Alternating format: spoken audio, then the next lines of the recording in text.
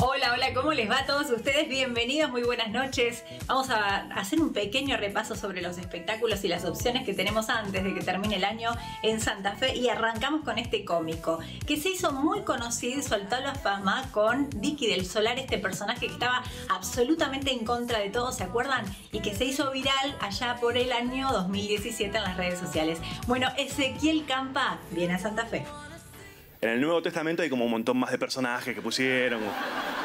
Ezequiel Campa vuelve a Santa Fe con su unipersonal Cheto y Choto. El ganador del Premio Estrella de Mar 2021 se presenta el viernes 29 de octubre a las 21 horas en el Centro Cultural Provincial. Campa es uno de los referentes del humor en nuestro país, con más de 15 años de trayectoria y presentaciones permanentes en escenarios de Argentina y del mundo. Actualmente se encuentra presentando su cuarto espectáculo teatral. En su trayectoria ha grabado tres especiales de stand-up para Comedy Central y participado dos veces en el Festival de Comedia de Nueva York. Dios crea a la mujer sacándole una costilla a Adán. ¡Wow! Machismo, ¿no?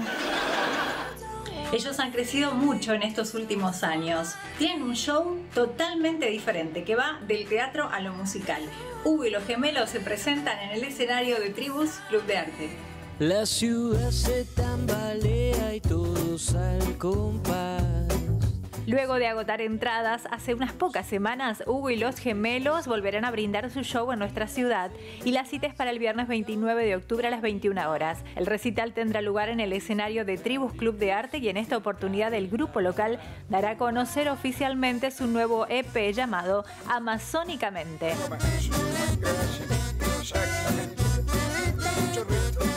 La Universidad Nacional del Litoral cumple 102 años de vida y lo celebra con una programación fantástica que vamos a tener a lo largo de todo el mes de octubre. Se viene aniversario en los patios para que puedas disfrutar con toda la familia.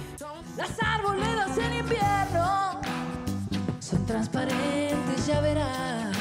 Con música en los patios del rectorado, la Universidad Nacional del Litoral celebrará sus 102 años de vida. Los recitales serán este jueves, viernes y sábado en la Manzana Histórica. La convocatoria para las tres jornadas musicales será a partir de las 20-30 horas. Hilda Lizarazu, Candela Fernández, Grupo GPS, Danilo Cernoto Trío, Oscar Frodo Peralta y el coro UNL, además de músicas y músicos invitados, serán protagonistas de esta propuesta. El aforo será limitado y las entradas se entregarán previamente de manera gratuita.